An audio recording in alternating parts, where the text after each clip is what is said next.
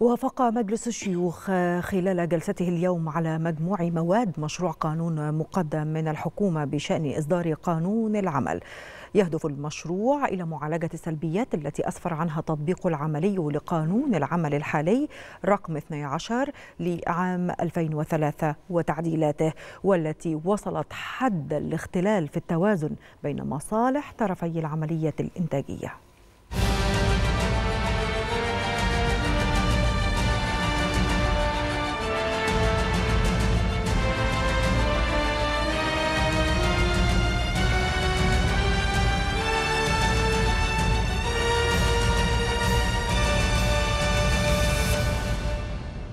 جلسة جديدة عقدها مجلس الشيوخ برئاسة وكيل المجلس المستشار بهاء أبو شقة والتي استكملت النقاشات حول مشروع قانون العمل وتقارير اللجان المعنية. ويهدف مشروع القانون إلى معالجة السلبيات التي أسفر عنها التطبيق العملي لقانون العمل الحالي رقم 12 لسنة 2003 وتعديلاته والتي وصلت إلى حد الاختلال في التوازن بين مصالح طرفي العملية الإنتاجية فضلا عن تحقيق التوازن والعدالة بين طرفي علاقة العمل وإرساء مبدأ ربط الأجر بالإنتاج لطمأنة المستثمر الوطني والأجنبي وتحفيز العامل على بذل الجهد لتعظيم إنتاجيته ووضع تنظيم قانوني منضبط ودقيق لمزاولة عمليات التدريب والاهتمام به كأساس للتقدم. وفتح المستشار بهاء أبو شقة الباب أمام النواب لمناقشة بنود مشروع القانون. المادة 253